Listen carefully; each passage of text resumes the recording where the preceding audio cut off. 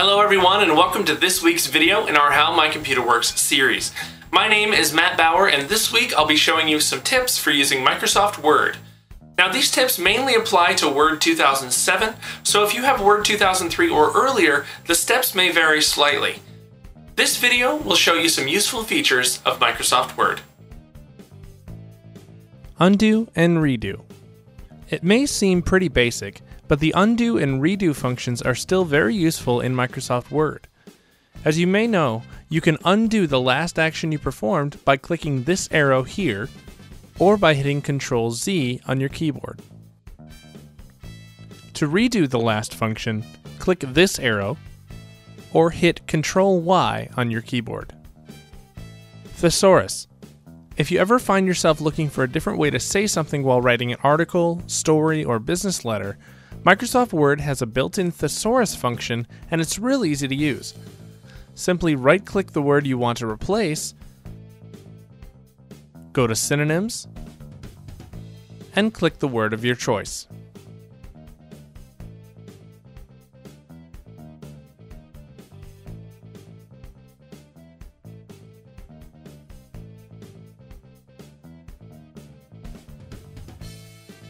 Auto Recover Many people don't know that there is an auto recover feature until they are prompted to use it. Basically, the auto recover feature saves your work automatically every few minutes. And if the program quits unexpectedly or if a power outage occurs, the auto recover feature gives you the option to restore the latest auto-saved version of the document you were working on. The autosave feature is enabled by default but you can actually change the time period between autosaves. To do this, just click the Office icon on the top left, then click Word Options at the bottom of the panel, click the Save section,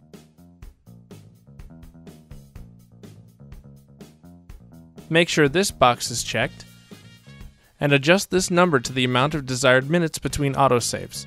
Obviously, the lower the number, the more often your document will be autosaved. Text formatting when pasting.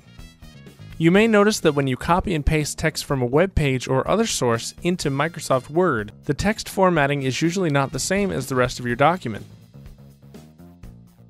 Well, when you paste the text, there is a little icon that appears right after it. If you click the icon, you get a few options. If you want the text to maintain its formatting, like bold, underlined, or italics, you can click Match Destination Formatting.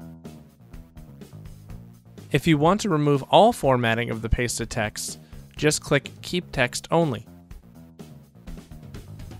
After pasting, though, make sure you click the Paste Options icon before you change anything else, or it will disappear. Default file format. In all versions prior to Word 2007, the default file format, or file extension, was .doc. However, in Word 2007, Microsoft created a new file format called .docx, which allowed for certain functionality in the 2007 version. Unfortunately, this created a problem with some users of Word 2003 or earlier in that they could not open these new files without some sort of converter program.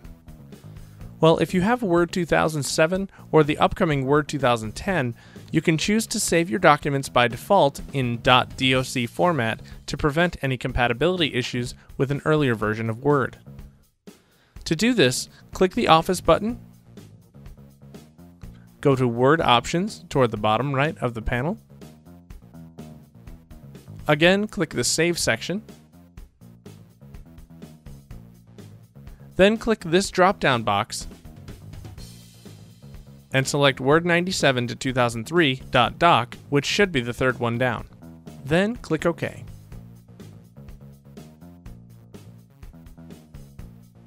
Now, when you go to save any new document,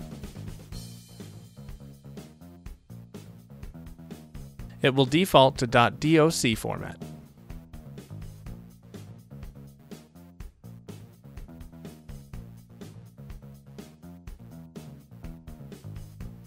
I'll show you a few more Microsoft Word features in a future video, but if you have any training ideas or suggestions, I'd love to hear them. So go ahead and send an email to training at mycomputerworks.com or just post them in the comments section below.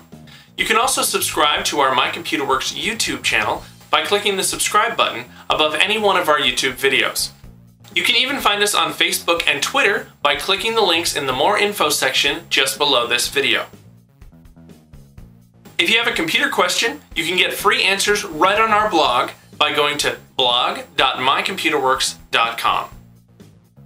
If you have any questions about My Computer Works or would like more information about our services, you can go ahead and give us a call at the number you see below or just visit us online at mycomputerworks.com. My name is Matt Bauer. Thanks so much for watching, and we'll see you next time.